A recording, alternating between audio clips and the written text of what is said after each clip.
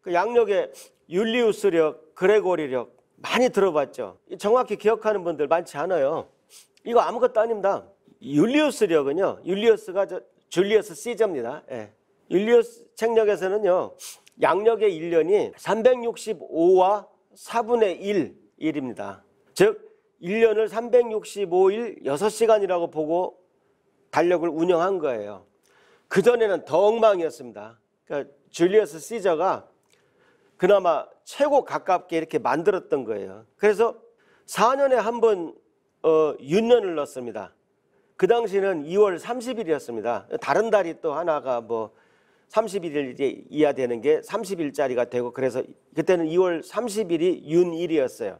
자, 무슨 말이냐? 1년이 365와 4분의 1일이니까 4분의 1 짜투리가 남는다는 말입니다. 그 4분의 1 짜투리는 4년이면 1년이 될 거 아닙니까? 그러니까 어, 4년에 한 번씩 1년을 366일로 만드는 겁니다. 그러면 거의 맞아 돌아가요.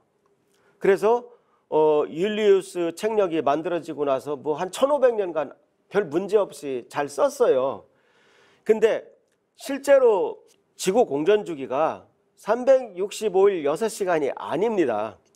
365일 5시간 48분 46초예요, 지금은.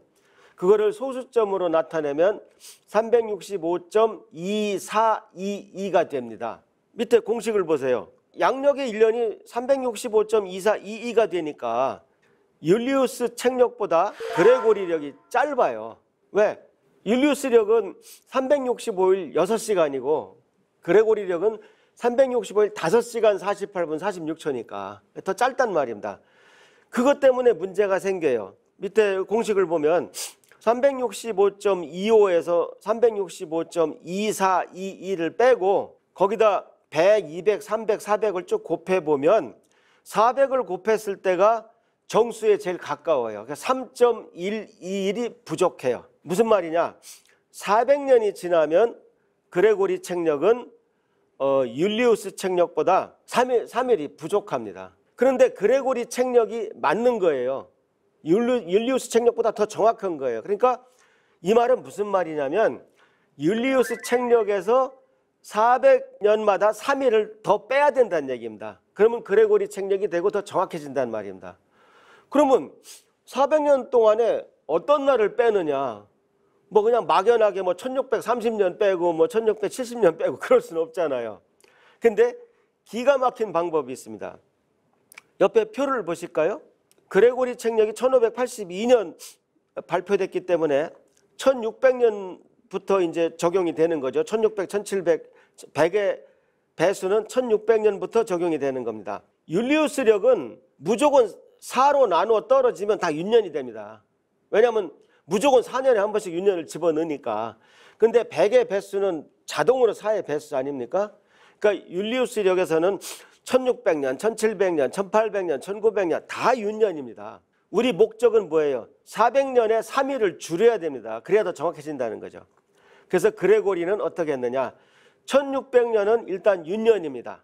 4로 나누어 떨어지니까. 근데 1700은 4로 나누어 떨어져도 평년으로 한다는 겁니다. 즉 아이디어가 뭐냐? 1700, 1800, 1900을 평년으로 해버리면 4로 나누어 떨어지지만 평년으로 해버리면 400년 동안에 3일이 줄, 줄잖아요. 그래서 여기서 어떤 법칙을 만드느냐. 그레고리 책력에서는 4로 나누어 떨어지면 윤년입니다. 2020년은 윤년입니다. 4로 나누어 떨어지니까 2월이 29일까지 있는 거예요. 뒤에서 설명하겠지만 윤달도 있습니다. 네, 그건 뭐 전혀 다른 얘기입니다. 4로 나누어 떨어지면 일단 윤년인데 다시 100으로 나누어 떨어지면 평년으로 합니다. 그러니까 100으로 나눠 떨어지면 평년으로 한단 말이죠. 그럼 400년에 4번이 빠지죠. 그래서 다시 또 400으로 나누어 떨어지면 다시 윤년으로 합니다.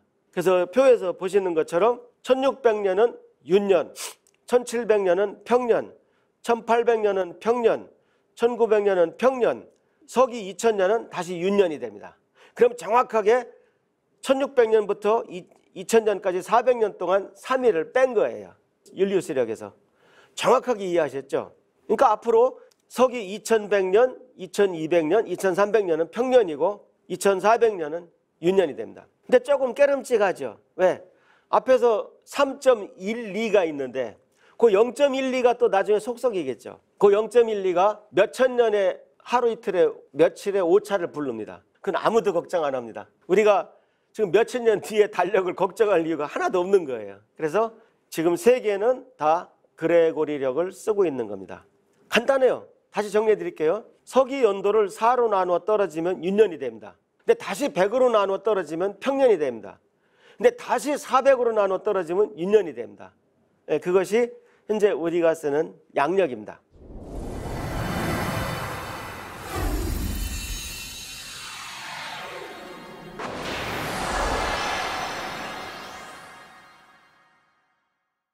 우주신령과 제자들 에, 만화 보실 시간입니다. 그 목성을 조그만 망원경으로 보면요. 까만 점처럼 보이는 게 하나 있어요. 그게 굉장히 커다란 그, 그 대적반입니다. 그 대적반이라고 해서 어, 영어로는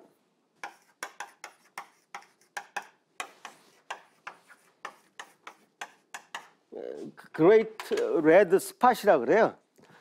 근데 실제로 조그만 망원경으로 봐도 그 점이 보이는데 새 신령이 목성을 만드는데 예, 우주 신령이 이제 당구하는 포즈로 대적반을 잘 찍어야 하는데 이렇게 얘기하고 있는 겁니다. 그러니까 예, 실제로 그 목성을 보면 이렇게 보인다는 거죠. 그 다음에 은하 신령은 이제 페인트 그 솔을 가지고 줄무늬 잘 그려야지. 그 목성은 줄무늬가 있거든요. 네, 지구 신령이 이제 돌리고 있습니다. 아이고 팔이야 언제까지 돌려야 하나 이제 푸념하고 있는 것이죠.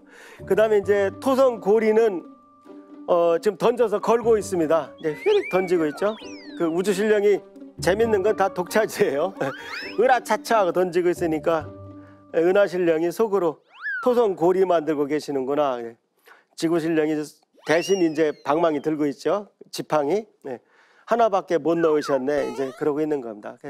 저렇게 우주를 갖고 노는 그 신들의 모습이 그 서양인이 아니라 동양인이라는 것부터 우리 아이들이 더 우주가 우리 거라고 생각을 하고 더 애착을 갖게 만들고 싶은 심정에서 그린 것입니다. 네, 이상으로 6강을 마치겠습니다. 여러분 감사합니다.